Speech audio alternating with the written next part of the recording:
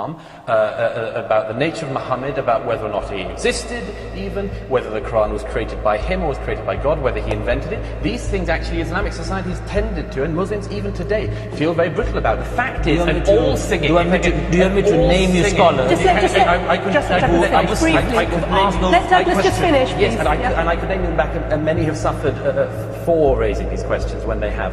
The fact is that, that we can put it this way: an all singing, all dancing Mormon musical is a threat to nobody. Nobody thinks.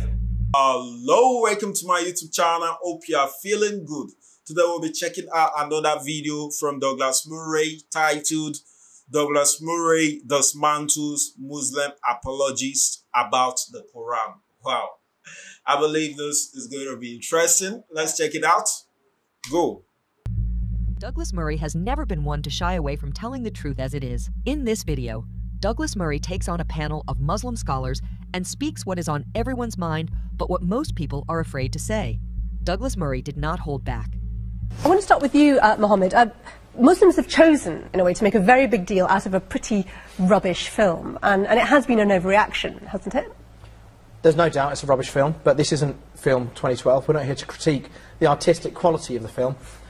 What most people, and people I speak to on Twitter, people I speak to in the street and at meetings, one of the things they're very clear about is that they don't understand the context of the uh, hate, of the pain, of the suffering that Muslims feel in response. Now, Muslims should never go beyond the, the, the limits and the boundaries of Islam in terms of peaceful protest and uh, have it using Well, they've their done it, haven't they? Well, some, ha- some have done it, and I think the question we should be asking is some, not all. Yeah. Many. I've, I've seen the film. Um, it was not very funny. It was pretty disgusting. It was awful in some places. Um, and the, we do have a right to freedom of expression in this country. However, even the European Convention on Human Rights, in Article 10.2, sets limits on that freedom of expression, and it needs to be used responsibly, and it u- needs to be used in a measured sense. I mean, Douglas Murray, what's interesting is, you know, it said that perhaps in the West we've lost any understanding of the, the depth of offence that things like this cause to Muslims. And is that a problem of our own making? I think a way? that's true in a way. I just quickly, I mean, the thing of saying Muslims, uh, of course, in this is that i-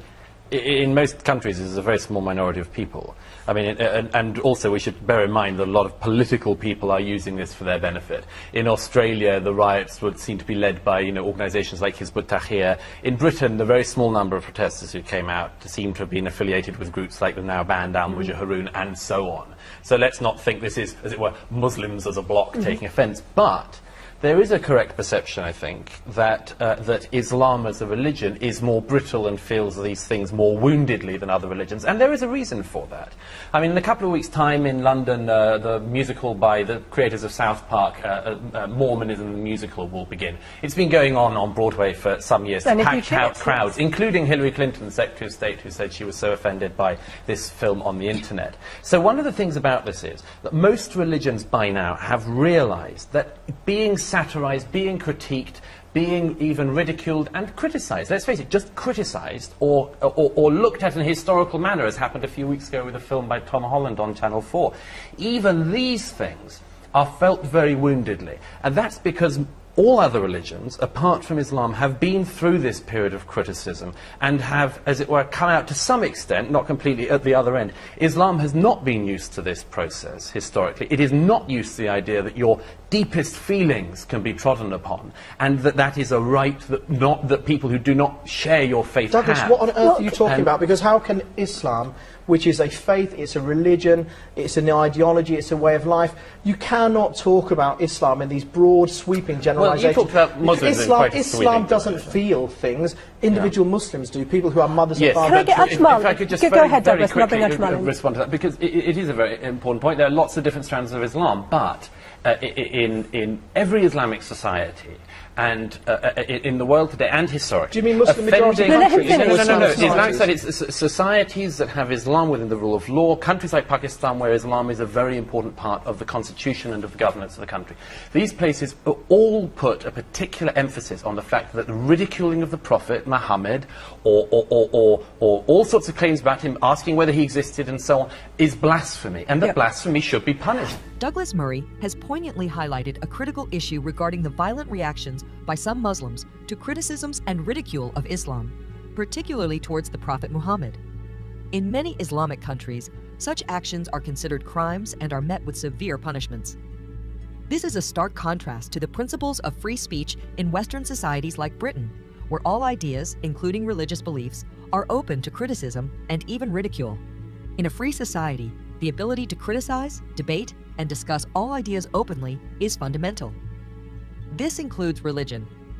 The transition for some Muslims from environments where blasphemy is a punishable offense to societies where such actions are protected under free speech can be jarring.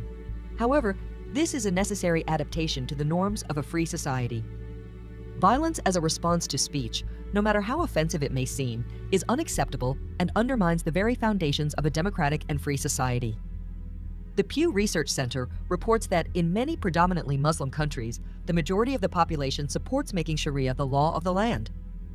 Under Sharia law, blasphemy and apostasy can be met with severe punishments, including death. This cultural and legal backdrop significantly influences the mindset of many Muslims, making the adaptation to Western norms of free speech challenging. Furthermore, the Economist Intelligence Unit's Democracy Index consistently ranks countries with strong protections for freedom of speech, such as Norway and Iceland, among the highest in terms of overall democratic quality. Conversely, countries with strict blasphemy laws, like Saudi Arabia and Iran, often rank lower. This correlation highlights the importance of protecting free speech as a measure of a healthy democracy. The violent reactions to criticism of Islam not only undermine the principles of free speech, but also perpetuate a cycle of fear and self censorship. This is detrimental to societal progress and cohesion. It's imperative for immigrants to understand and adapt to the values of their new homes, which includes respecting the right to free speech. I've got simply three points to make on this particular discussion. I think there's one correction for uh, Douglas's uh, uh, information. Islam has been through 1400 uh, years of critique, mm. discussions and debates internally and externally. And it has gone through it without a problem, and it will go through it without any issue. I have no issue with that. I think there is an element of truth in what we are saying here to do with Muslims' disproportionate response. The reasons these responses are particularly prominent in countries like Pakistan, Yemen, in Bangladesh, has more to do with politics than religion. Let me take, give you an example. Very briefly. Most of these countries are ruled by dictators and despots.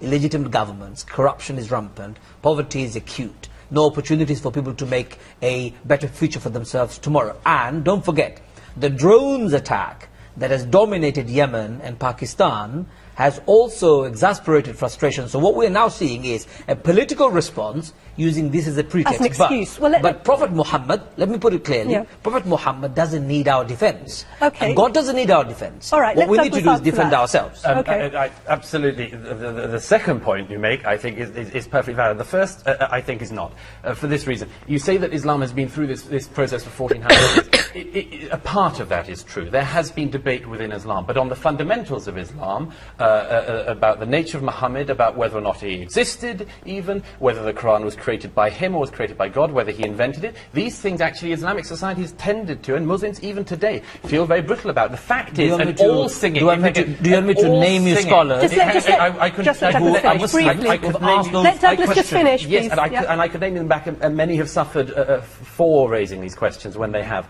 The fact is that, that we can put it this way, an all-singing, all-dancing Mormon musical is a threat to nobody. Nobody thinks that Mormon mobs are going to go and kill anybody, or threaten to. But there is a risk, and it is a okay. legitimate risk in the world today, that an all-singing, all-dancing Mohammed musical in the West End might not but go you know, off Samira, so. Douglas Murray makes a compelling point about the role of fear and terror in Islam. This fear is often institutionalized through blasphemy and apostasy laws, which impose severe punishments for those who criticize or leave the religion. This creates a significant conflict when these values are juxtaposed with the principles of free speech and open debate that are foundational in Western societies. In many Islamic countries, the penalties for blasphemy and apostasy can be as severe as imprisonment or even death. For example, in countries like Pakistan and Saudi Arabia, accusations of blasphemy can lead to the death penalty. This creates an environment where fear suppresses dissent and criticism, effectively silencing any opposition or calls for reform within the religion. This culture of fear and suppression poses a serious challenge when Muslim communities live in Western countries where freedom of speech is a fundamental right. The clash between these two sets of values often leads to tension and, in some cases, violence.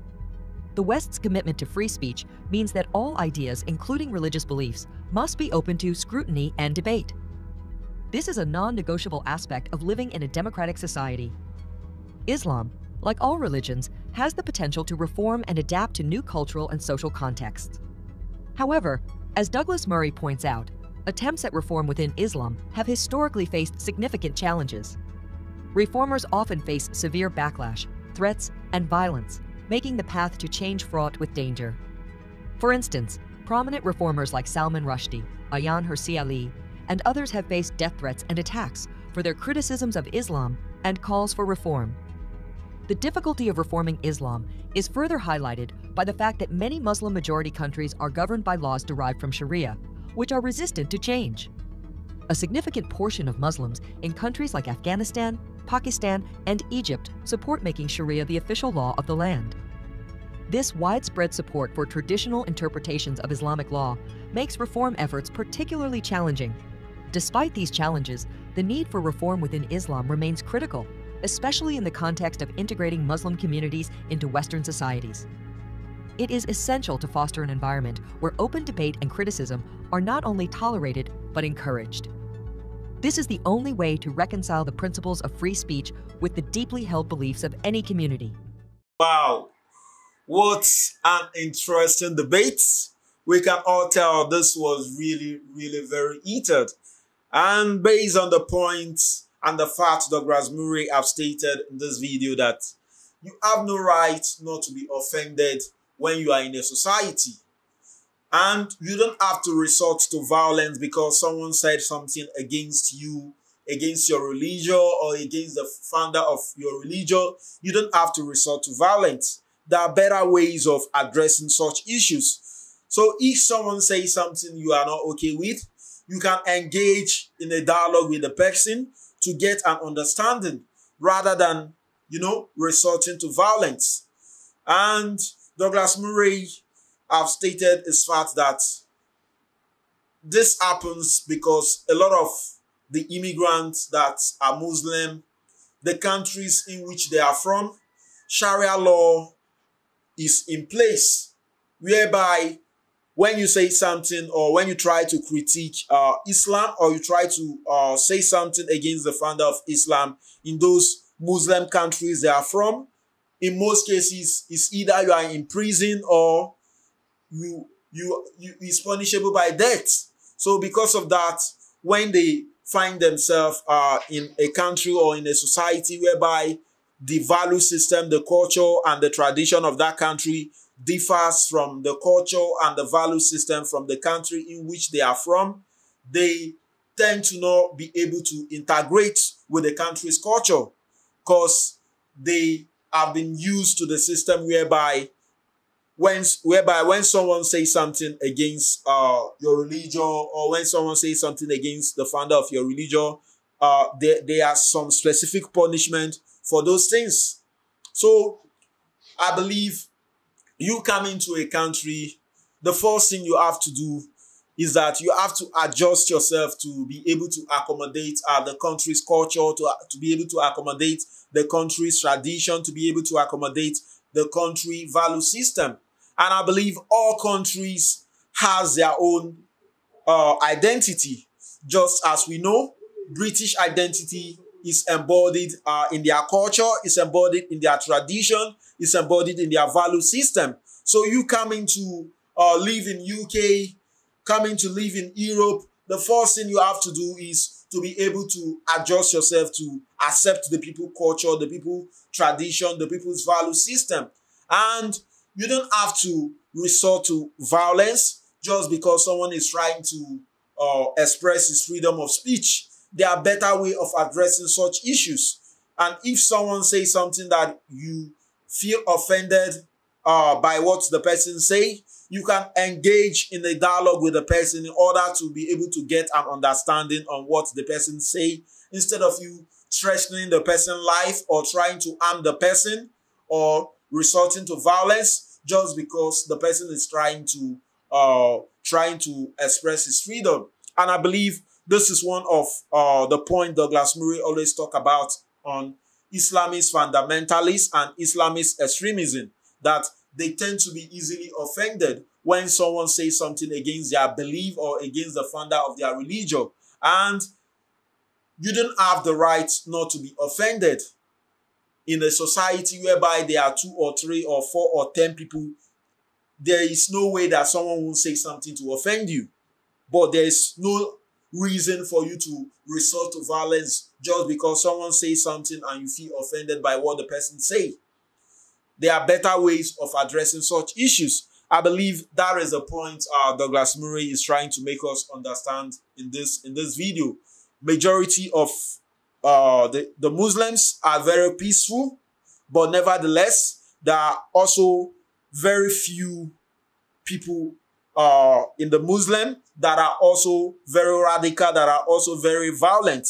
And the point the Islam scholar gave is that a lot of countries uh, try to, you know, use Islam to justify their action, which is not true. So the problem is not from the religion, but the problem is actually from the people who try to use Islam to justify their own action.